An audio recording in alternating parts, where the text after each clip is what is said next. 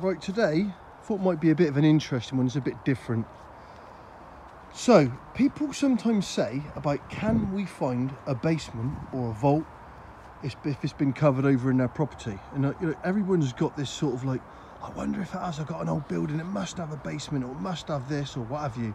And the answer is, yeah, if you've got differences in ground conditions, ground penetrating radar should pick it up. So what I'm going to give you today is a classic example. This is a crypt beneath here, right? And we're just going to put the GPR along the top of this crypt and we're going to show you a couple of things. You have to excuse me because the ground is very, very bumpy. There's been lots of ants nests here and they've literally just had a good old munch up on there. Right, so it's all over the place, but it doesn't matter.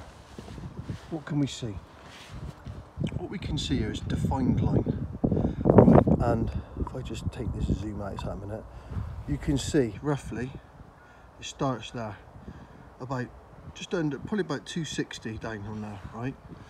And you can see that shape. That is the shape of a vault. So that is the vaulted ceiling beneath. And I'm going to leave it on the same line. We're going to come back along here now right? So again excuse me it's all over the place. And what you're seeing here is now is basically another it's a flat line straight line shall we say. Roughly about sort of like 500 so if you could imagine that's the vaulted area there. We've just taken we've just driven from there across that way. That's where you're going to get a straight line.